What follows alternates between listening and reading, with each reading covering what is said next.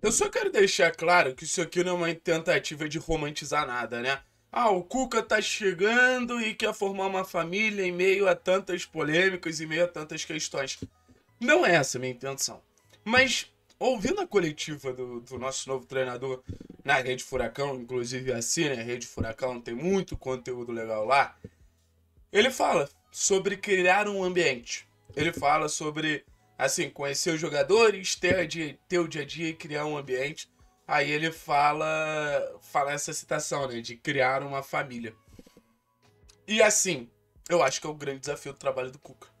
Taticamente, tecnicamente, assim, poucas dúvidas que o Cuca ele vai conseguir fazer um trabalho muito melhor do que o Osório vinha fazendo e um trabalho que provavelmente vai botar o Atlético em um time muito competitivo, né? Que eu acho que é basicamente o que, que a gente pode esperar de um treinador. Um treinador que faça o Atlético um time competitivo. Ponto. Mas, quando ele fala em família, não é porque é o Cuca, mas de alguma maneira faz eu ficar um pouco mais com olhos assim, não desconfiados, mas com olhos de será que ele vai conseguir? Talvez possa ser até olhos desconfiados. Porque tem tempo, velho tem tempo que nenhum técnico consegue criar esse ambiente. Ou os treinadores que criam esse ambiente, eles perdem muito fácil. Filipão criou e perdeu, Wesley criou e perdeu, Osório nem chegou a criar, Turra nem chegou a criar. Talvez o último treinador que tenha conseguido uma mobilização muito grande do vestiário ao seu favor foi em 2021. O Filipão teve algum momento ali em 22, mas quando chega na final da Libertadores ali, já não tem. Mas em 21, o elenco era realmente fechado com o Antônio. Em 21, o elenco era realmente fechado com o Alturi. E a gente via como isso refletia no nível competitivo da equipe.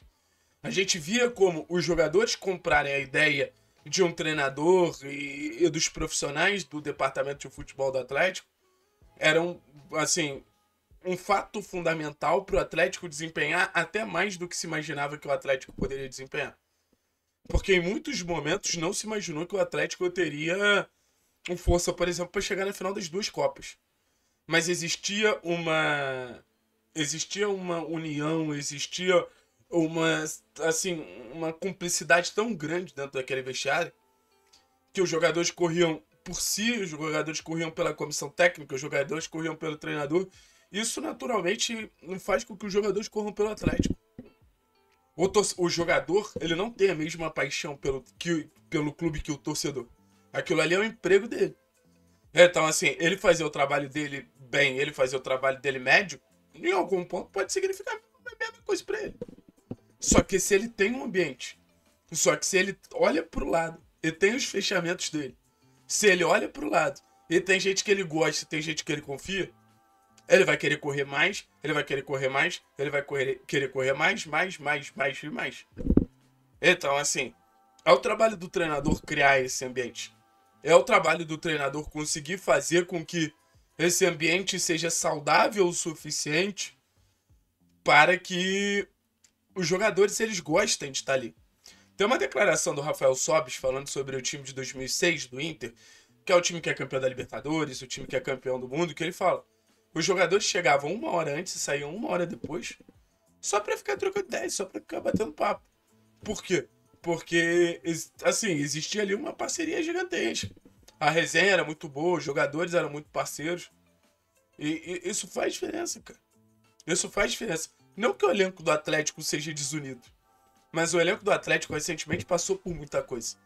Passou por eliminações que, que doeram, como foi Bolívar, como foi Flamengo passou por momentos complicados, como na reta final da temporada passada. Aí já começa a ser temporada com as loucuras do Osório.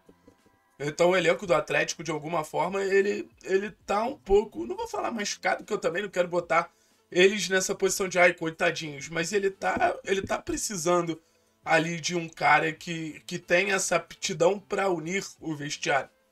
E se o Cuca ele tá nessa disposição de criar esse ambiente, de criar esse vestiário, de criar essa mentalidade, ótimo. Assim, eu acho que faz parte do trabalho do treinador. A gente sempre fala de gestão de grupo, gestão de grupo, gestão de grupo. Criar um grupo unido é, é o supra-sumo ali da gestão de grupo, é a principal função da gestão de grupo. Vamos ver se o Cuca ele vai, vai conseguir fazer essa gestão da melhor maneira possível. Ah, Thiago, mas o Cuca é paizão. Como é que o Cuca é no vestiário? O Cuca não é um cara fácil no vestiário, gente. Eu quero deixar isso claro para vocês. Ele pode se provar o, o melhor cara do mundo nesse trabalho no Atlético. Mas até aqui, cara, apurações de pessoas que jogam bola, apurações de pessoas que já trabalharam com o Cuca, já cobriram times que o Cuca jogava. É um cara que tem seus momentos ali maravilhoso, paizão, parceiro, mas também tem muita mania de perseguição, é metódico pra caramba, tem, tem suas superstições. Isso não é tão fácil de se administrar. Então, assim, tem que ver também como o grupo do Atlético vai receber o Cuca. Porque não adianta o Cuca chegar querendo montar uma família e a recepção do, do grupo do Atlético não for uma recepção que a gente olha e fale, pô, beleza, esses caras estão comprando barulho do treinador. Porque assim, independente se você gosta do Cuca, se você não gosta do Cuca, eu acho que todo mundo aqui quer o sucesso do Atlético. Acho que todo mundo aqui quer, quer um Atlético vencedor, todo mundo quer um Atlético no ano do centenário, independente de quem está comandando o clube, levantando taças. Então, é um sentimento de se o Atlético quiser ser campeão, os jogadores precisam comprar o barulho do Cuca e o Cuca precisa comprar os barulhos dos jogadores. E, cara, seria muito incrível se a torcida comprasse barulho. Porque, assim, eu dificilmente vi uma equipe que foi campeão sem a torcida do lado.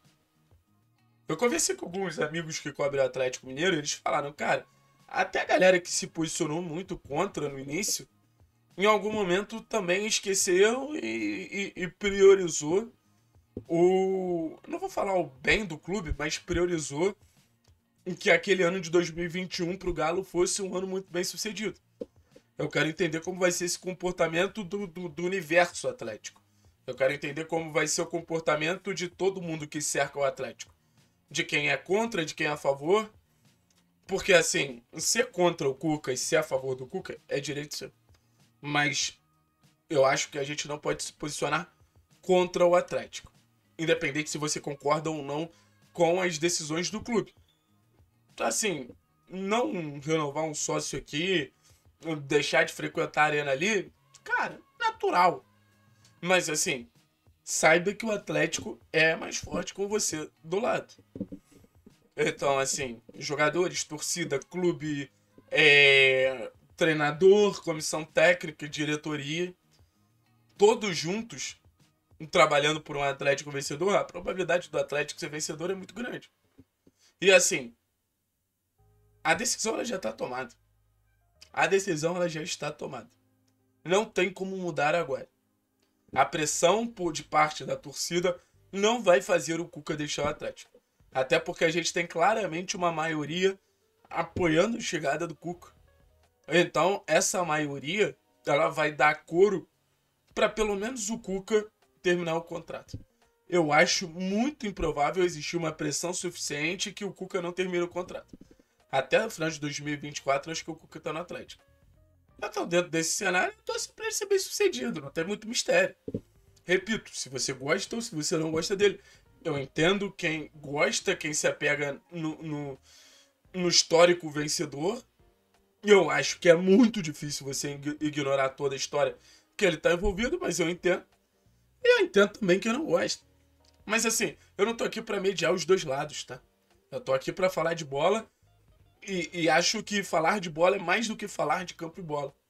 Falar de campo e bola é importante, mas sem um bom vestiário, sem um, um, um bom ambiente, o Atlético não vai chegar a lugar nenhum. Inclusive, foi muito o porquê o Atlético não teve sucesso em 2023. Porque não tinha um bom vestiário, porque não tinha um bom ambiente. Então, assim, é aquela velha história. Torcer pro Atlético não repetir os erros. Torcer pro Atlético não ser um clube que erra da mesma maneira que errou é, há pouco tempo.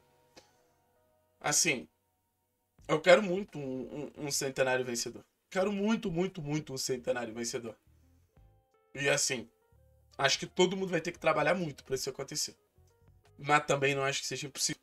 Mas isso parte de um Atlético bem tecnicamente. Isso parte também de um Atlético com um ambiente focado em vitórias. Vencer é muito, muito, muito importante. Valeu? Tamo junto, né, rapaziada?